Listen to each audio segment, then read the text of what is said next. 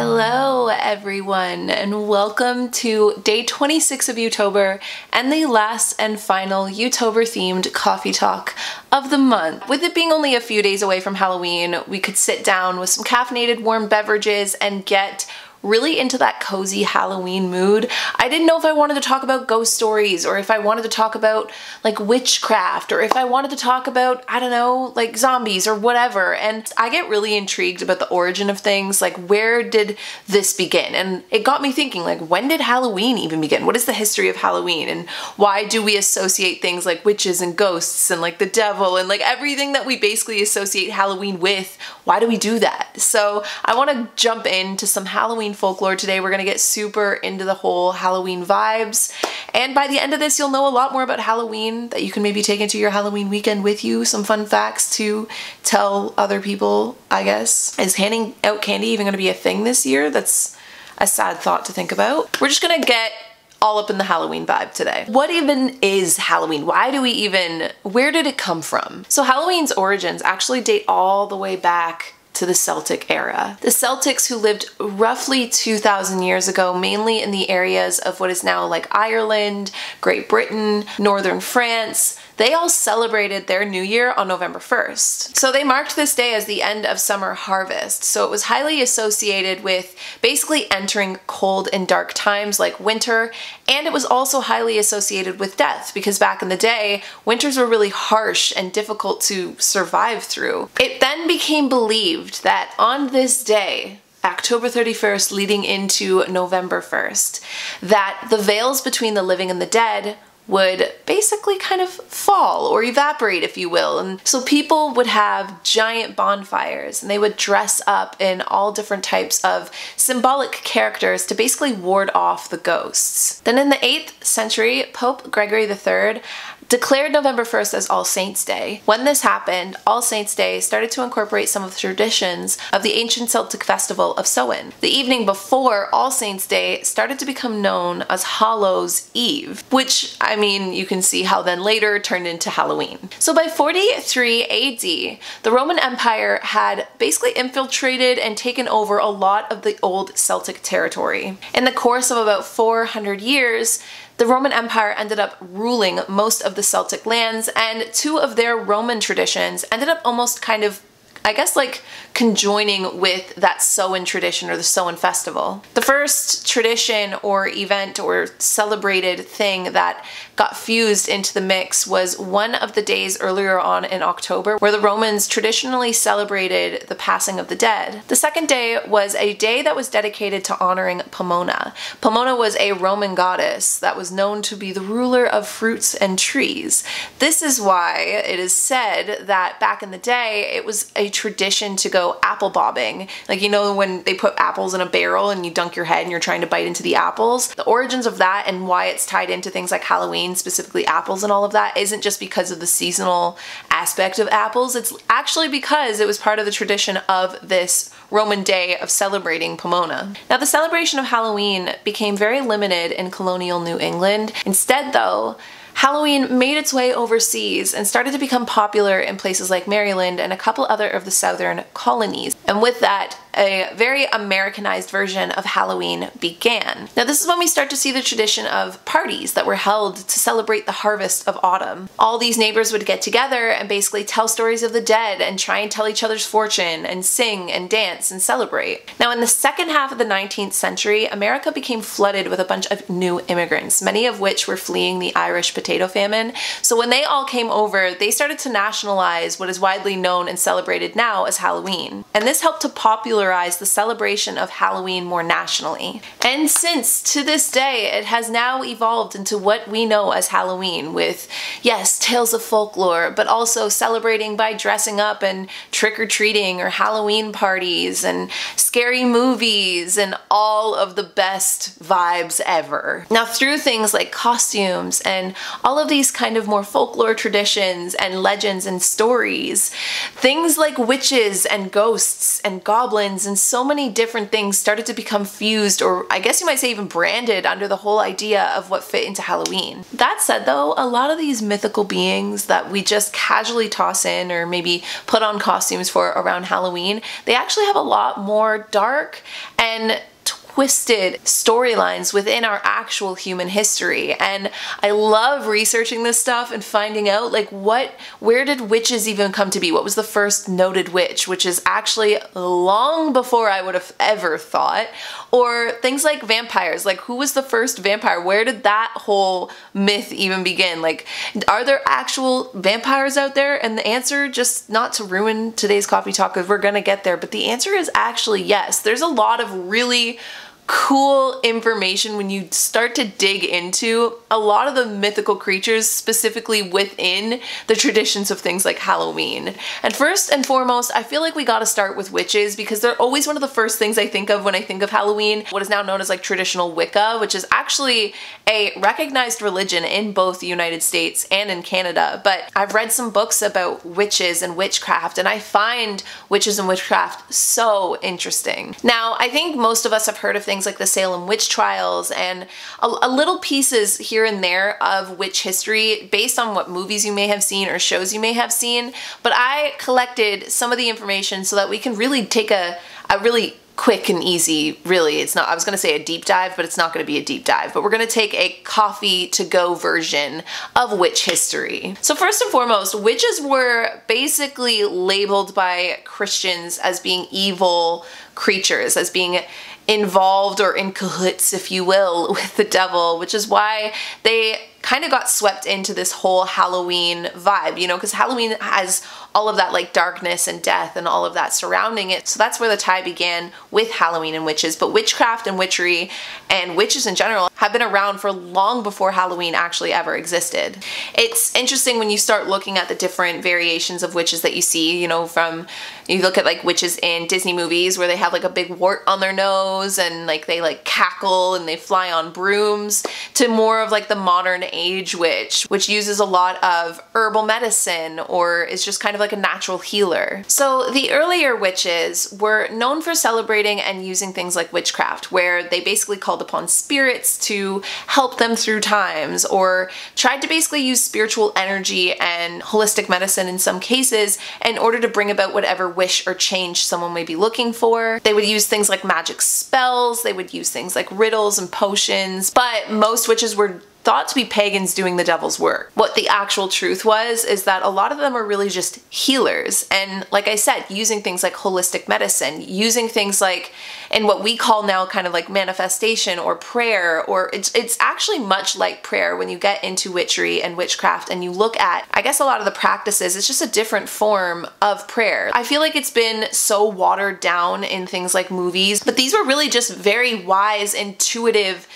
spiritual women and also sometimes men. Now it's unclear when witches actually first historically came on to the scene, but one of the earliest records of a witch is in the Bible, actually. It's back in Samuel 1, which was thought to be written around 931 BC and 721 BC. So witches have definitely been in human history for a very long time. That said, the whole witch conundrum and I guess like popularity of witches didn't really take hold until Europe in about the 1400s. Now this is when many women or and also like I said there were also men were accused of doing or using things like witchcraft and doing the devil's work and a lot of them confessed after being tortured brutally of a lot of like wicked and twisted behaviors that were really just misunderstandings of what witchcraft is. Now within a century of that time, witch hunts started to become popular, people started to become convicted of crimes, and many witches were executed by burning or hanging. And unfortunately, this is actually really, really sad, but single women, widowed women, and women who lived more on the outside or the outskirts of society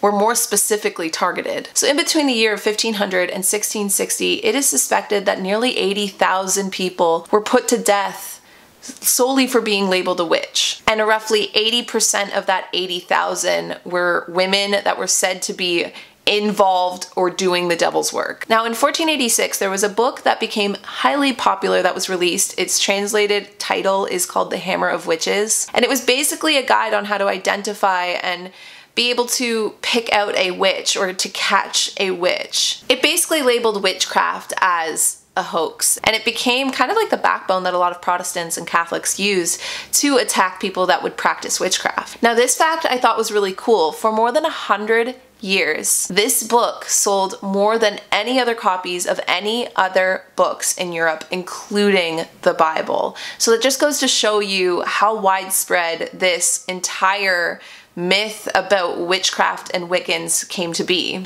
And this is basically what continued and led into things like the Salem trials and so on and so forth. Now, modern day witches still exist. Like I said, I have I actually have read a couple books on witchcraft and witchery and they're written by women that call themselves witches. The most practiced form of witchcraft is known as Wicca, and Wiccans actually believe in the opposite of evil. Wiccans are known to avoid evil and the appearance of evil at all costs. And a lot of the spells and the work that they do is very similar, like I said, to kind of like working with prayer or or working with like your higher self or your spirit. It's just like another translation of the same thing. The motto of Wiccans is harm none. And the goal within Wiccan practice is basically to live in harmony with yourself and with nature. And to this day, people still perform magic spells. They still create a lot of herbal remedies, a lot of holistic medicine, like I said, and a lot of this still exists in today's world and is still known as witchcraft.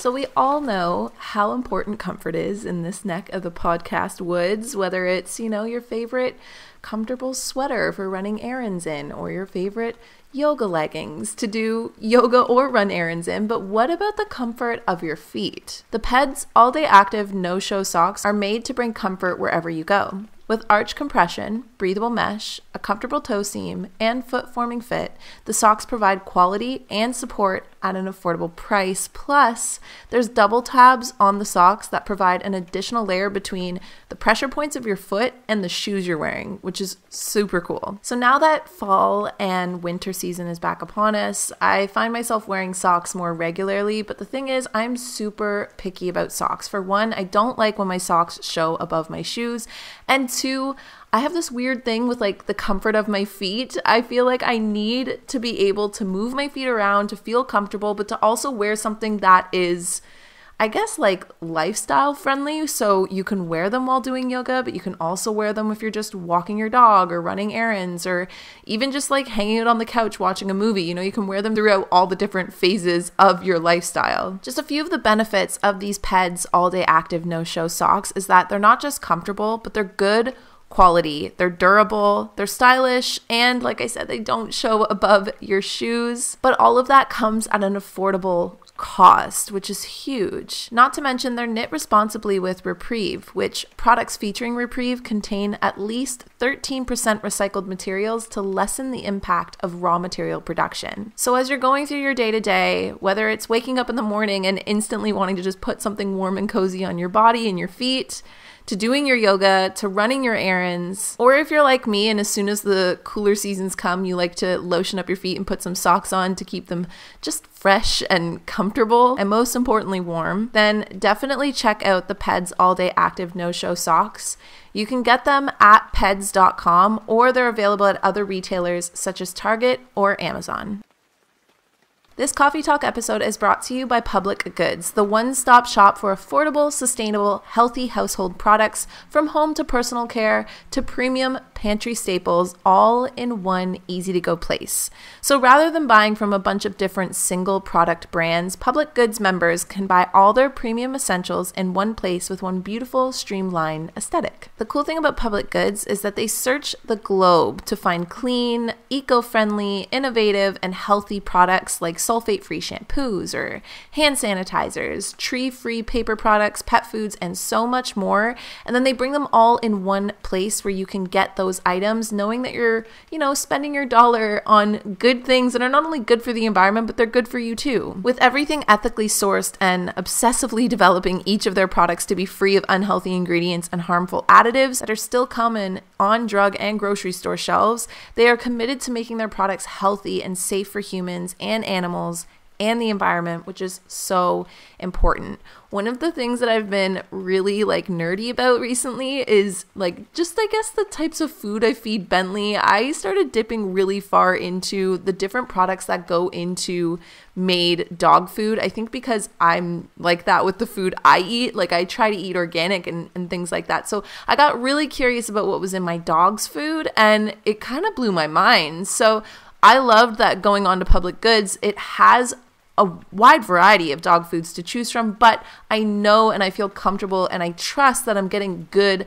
high quality, premium dog food for my dog that has the best ingredients. Knowing what's in your products, whether it is your dog food or products that you're using like shampoos and so on and so forth, it's important to know where they come from. Small changes in the ways that we shop can make a huge impact on personal health and the world at large. Public Goods uses a membership model to keep costs low and to pass on even more savings to customers. But best of all, you can make your first purchase with no obligation. They plant one tree for every order placed, and they've planted over 140,000 trees just since September of 2019. So they offered an exclusive deal just for all the Coffee Talk listeners. You're going to be able to get $15 off your first public goods order with no minimum purchase. They're so confident that you will absolutely love their products and come back again and again that they're giving $15 for you to spend on that first purchase. You have nothing to lose. Just go to publicgoods.com slash K-A-L-Y-N or you can just use the code my name Kalyn at checkout. That is P-U-B-L-I-C-G-O-O-D-S dot com forward slash K-A-L-Y-N to receive $15 off your first order. These days, it kind of seems like people are putting CBD in everything, right? And we've talked about CBD a few times, but there's a lot of noise out there.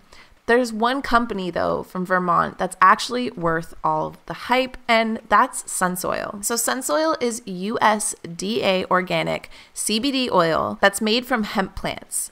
How the hemp is grown really matters. Sunsoil farms their hemp in Vermont and they never use pesticides, herbicides, or GMOs. Now, I try to be mindful of the products and the ingredients within those products that I'm specifically putting on or in my body, and that's why I love that Sunsoil is made from simple ingredients that I can pronounce.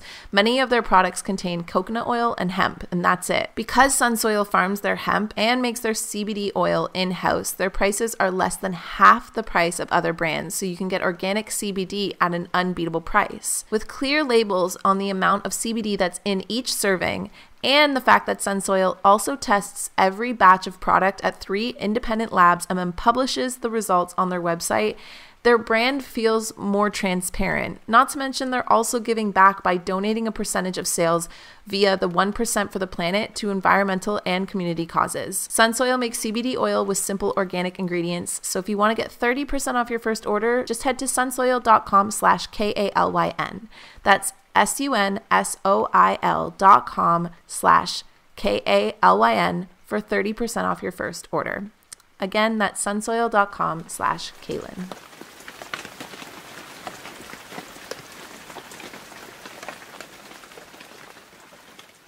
Now, I can't think about Halloween without thinking about vampires. So, of course, I thought it would be really fun and cool to find out a little bit more about the history of vampires. So, a vampire is basically a mythological creature that is said to roam the earth at night um, because sunlight tends to be a weakness in all different forms. I mean, if you're talking Vampire Diaries, you gotta get a daylight ring. If you're talking Twilight, you sparkle in the sun. So, mainly they're known to roam at night or in dark places and drink the blood of humans and and basically drain them dry. It is thought that Bram Stoker, the man that created the well-known Count Dracula, had basically gotten his entire inspiration off of a man that was called Vlad the Impaler. Now, Vlad the Impaler was born in Transylvania, Romania, and he ruled Wallachia and Romania on and off from roughly 1456 to 1462. Now, when you look within history, there are some notes of him being a just man, but also always backed with him being very cruel. He got his name, Vlad the Impaler, because his favorite way to kill his enemies was to impale them on a wooden stake and allow them to die that way. Which again, now we see how that basically formed into vampire folklore as vampires being killed by a wooden stake through the heart. Now it is said or rumored or folklore, if you will, that Vlad Dracula would then use the blood of his victims to dip his bread as he ate dinner in front of their dead bodies. So when diseases and things started to plague towns, specifically in the Middle Ages, the vampire superstition again became very popular. There was a specific plague that created bleeding mouth lesions on people's bodies, and to uneducated people, the entire myth or storyline started to form that it was vampires that were coming and killing large amounts of people in towns. It also wasn't uncommon for someone who is showing any signs of physical or mental distress in certain ways to also be labeled as vampires, or anyone with certain diseases to be labeled as vampires. For instance, there's this disease that was known as porphyria, which would cause blood blisters if you went out into the sunlight. So your skin would start to blister and it would look almost like like in vampire movies now where vampires start to burn up like they can't be underneath the sun. The other really interesting thing is that this same disease, some of the symptoms of that disease can be alleviated by drinking blood. So again, you take those facts and you can see how the common vampire folklore really started to form. That said though, other diseases just as commonly as rabies, like if you if somebody had that, that would be another indication, another example of people being said to be vampires that were actually just having a normal human reaction to, to types of diseases. You were still a person that could die, like you weren't the living dead. Now, when suspected vampires back in the day would die, their bodies would be searched for different clues of vampirism. Like they, they would actually go inside and try and see if there was any signs of this actually being a thing. And a lot of the times when they would do these tests and this research, they would do so with a stake through the heart of the human body just in case it actually was a vampire and they would come back to life. And then in other areas, there's also notes in history of bodies being decapitated or burned so that again, if they were vampires, suspected vampires, they would do these things in order to make sure that this person wasn't a vampire, couldn't come back to life. You speed forward to today and, and modern day science has clearly proven that vampirism isn't a real thing, but there actually are still people that you might say like practice vampirism or call themselves vampires that live in today's world. They're basically these communities of self-identified vampires, either online. There's also towns, communities, and groups and clubs that you can join that are again self-identified vampires that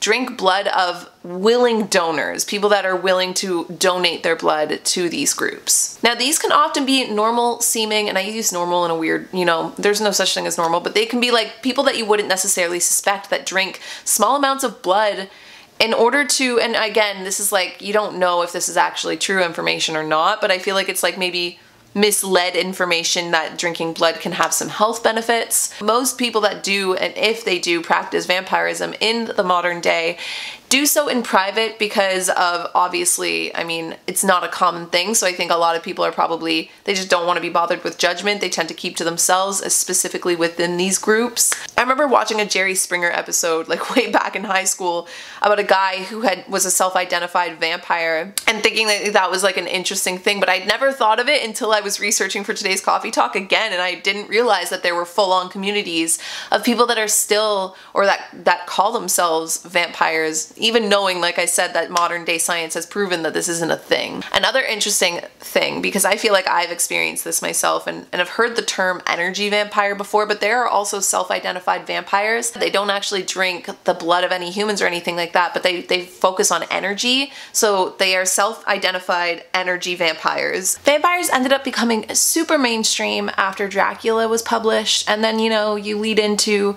I guess, kind of like the 2000s. People like Stephenie Meyer who have a dream in the middle of the night of a Dracula-like type beautiful man being obsessed with a Bella-like swan, or an Elena who was in love with a Stefan and a Damon, with a doppelganger who was once feeling the same type of way. Now, I know we can't dip into Halloween chats without talking about ghosts, but trying to find the history on ghosts is really complicated because I feel like ghosts have been around probably just as long as humans have been, really, if you want to go that far. And there's so much different routes you can take with the whole ghost thing. But basically, since ancient times, ghost stories and tales of spirits have been shared written, documented, and all of the above. Now, a great deal of I guess some of the more famous threads of ghost history usually include a lot of the old Roman rulers, emperors, kings, queens, politicians, famous writers, and many people that were well known or popular that basically died any type of mysterious or violent or sudden death. So the concept of a ghost is based on like the ancient belief that our spirits are inside or a part of our bodies, but not our actual bodies. So when our bodies stop working, that our spirits then separate or leave our bodies, and that that energy can remain or stay trapped here in Earth's dimension, if you will. So it's actually because of this that many people began doing funeral rituals whenever somebody passed away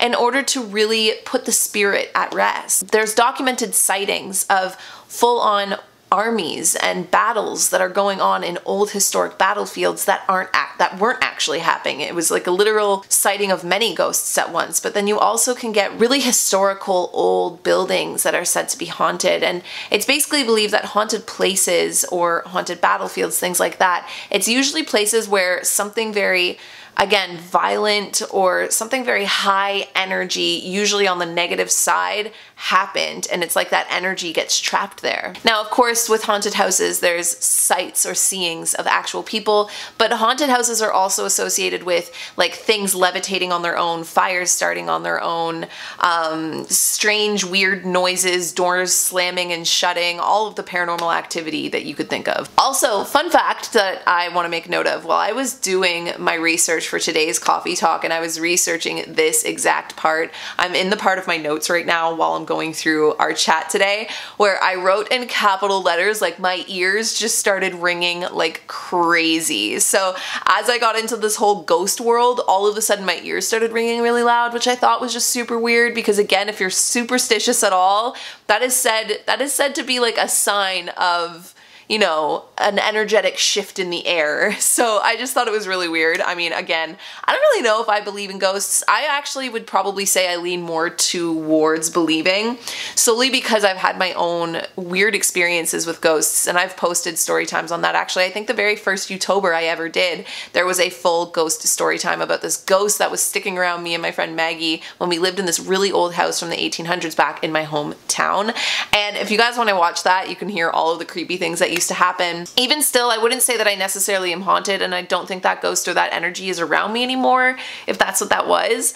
Uh, but there are definitely times and I think that uh, I don't, I'm just, I don't know. I think that sometimes when you are very sensitive and intuitive that you can pick up on things. And sometimes there will be weird things that happen. Things that I think I'll see things like my Xbox turning on on its own all of the time or just like weird shifts in the air that make me get that bodily feeling of like goosebumps or just something. And I, I'll like sense it but then I also have this part of my brain that instantly wants to cap that part of me and is like no you're just being crazy. So I would say I lean more towards believing, but I also have that logical sense of I don't know if I would believe that either because I also don't think that we stay here when we die.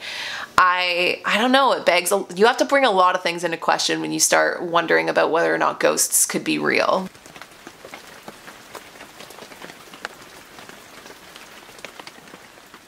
On the topic of good quality ingredients, California Crafted since 2013 Forager Project is an organic, plant based, family owned and operated food company creating innovative, delicious, tasting products sourced from nature's finest ingredients nuts, seeds, ancient grains, fruits, and vegetables. Crafted by fellow foragers and its own unique purpose built creamery, the only 100% organic plant based facility of its kind, Foragers Project's family of foods includes totally organic 100% vegan yogurts, nut milks, sour creams, kefirs, shakes, and butter. So, all of you guys that are fellow plant basters out there. That sounded weird, basters, but you know what I mean. This is definitely going to be right up your alley. Plus, a really cool thing for those of you guys that are from the United States, Forager announced its commitment to help cultivate democracy. So during the next month, Forager Project will be shifting packaging on its yogurts, kefirs, and milks to encourage consumers nationwide to get involved and vote this November. And they're launching a broader effort with organic and paid advertising to encourage everyone in the US to vote this November 3rd. Some other quick and cool facts is that they're family owned, 100% organic, based in California, and dedicated to making the world a better place than they found it. They use their hero ingredient, organic cashews, for the creamiest base in all of their products. And like I mentioned, they want to inspire everyone to get out there and vote and participate in the US democracy. They've provided voting resources and information for anyone listening in the United States at www.foragerproject.com slash vote and on their socials at Forager Project. So, as I believe I mentioned a little bit earlier, I'm sure we all know that we're dipping into the chillier seasons of the year. Fall and winter tend to be when I get more introspective, you know, spend more time at home, although we've all spent a lot of time at home this year. But just in general, I feel like I like to learn new things, get into new hobbies, you know, sharpen some new skills. And it's usually the time that I dip further into things like Skillshare. I'm sure you guys have heard of Skillshare before because it's widely popular, but just in case you don't, Skillshare is an online learning community with thousands of inspiring classes for creative and curious people where you can explore new skills, you can deepen your existing passions, or just get lost into some creativity, which I feel like is so needed right now. So, something I got just before moving away from Toronto was an iPad. It was something that I've been wanting to get into for a long time, but I specifically got it because I wanted to start working on more digital art moving into the fall and winter time and to keep my mind busy knowing that I was entering a stressful season. The thing is though, I mean, I had the iPad, but I didn't know exactly how to start making art or to even draw on it. So there's one class in particular, it's called iPad Illustration Draw a Digital Coloring Page, taught by Robert Jeanneret III, and it's incredible. I mean, his skill level is a whole a whole other ballpark game that I'm playing in, but I still learned a lot. And that's just like the tip of the iceberg. There's still so many different classes I can literally learn just on things to do on my iPad, art or not. And outside of even just an iPad, there's things from mastering illustration with a literal pen and pencil, you know, going back to the old school ways. They also have things on music, film and video, creative writing. I've even used Skillshare back when I was writing the first book of Catcher and how to create a character art, and so many different things. Skillshare offers membership with meaning, with so much to explore, real projects to create, and the support of fellow creatives online. Skillshare empowers you to accomplish real growth with your goals and also a community of people that are there learning with you. The best part about Skillshare is that their classes fit your schedule and your skill level. You get to choose your classes when you do them, and members get unlimited access to thousands of inspiring classes with hands on projects and feedback from a community of millions. So if you want to explore your creativity, check out Skillshare.com slash talk. And the first 1,000 people to use that link will get a free trial of the Skillshare Premium membership. So to receive free access to thousands of classes for free for a limited time, then go over to Skillshare.com slash talk and the first thousand to do so will be able to give their premium membership a try.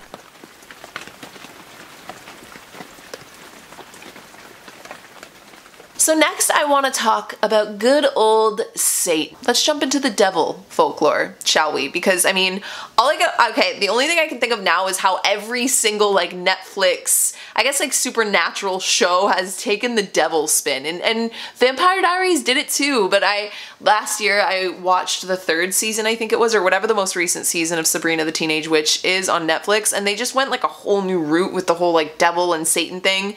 And then there's this show called Lucifer on Netflix that I tried to get into and I, I failed, but I just feel like that's another common tale you see of Lucifer, Satan, and I wanted to know the history of all of that, knowing that it would probably lead me into, I guess, like kind of Christianity and the Bible. But then again, that's all I've ever known because that's all I was ever taught. So let's talk about the devil's folklore. So the devil or Satan is obviously most commonly known as the embodiment of evil and normally the opposite of God or faith or anything like that. Now, the devil himself, it's been said or called by many different names, like we said, Satan, Lucifer.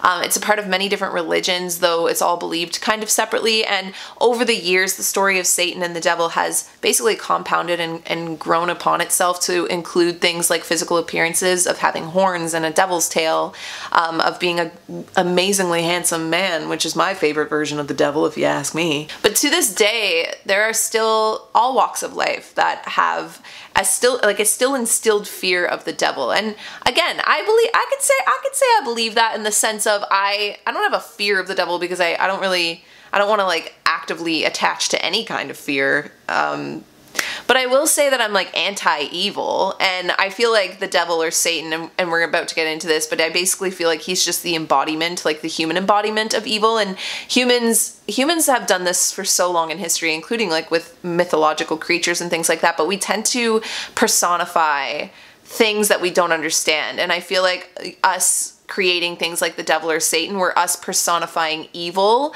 and things that we just couldn't understand. Just like we personified God as if he was like like humans were created in God's image. Like I don't know if I actually believe that. I don't think God's a human. I think we're just we need to almost personify things in order to get our, our heads around it. Within the Bible, you know, it was said that it was the devil that basically lured Eve into eating the forbidden fruit that caused Adam and Eve to be sent to live as mortal humans. And then there's also the common belief that Lucifer or Satan or the devil used to be an angel and an angel of God at that who had fallen. But most other religions also attest to a creature that roams the earth that is the embodiment of evil. Just basically is the destroyer of all things good. In Islam, for instance, the devil is known as Shaitan, and he is also said to be basically the protagonist to God. Now in Judaism, Satan is a verb. It's not an actual person or thing. And it usually, like the, in terms of said verb, it usually pertains to